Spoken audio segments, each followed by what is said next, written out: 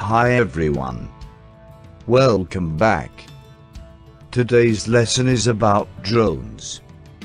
There are different names for an aircraft or drone with two propellers. Duocopter, bicopter and Dualcopter have their origins in the Latin and mean two, twice and two containing. Only duocopter is used below.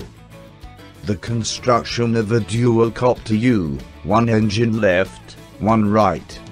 Both arms can be swiveled. In this design the motors including the propellers are each mounted on a rotating arm.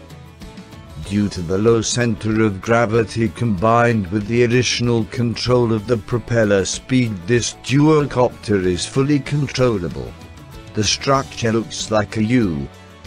From the front, this configuration is therefore referred to as U configuration. Disadvantages of dual copter U configuration. Unbalanced effective thrust. The dual copter responds differently to disturbances in or across the arm direction. Both propellers next to each other require more space.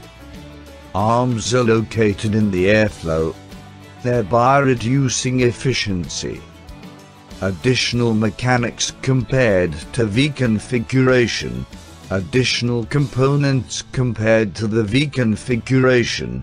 Thank you. Subscribe my channel for more VR animated videos.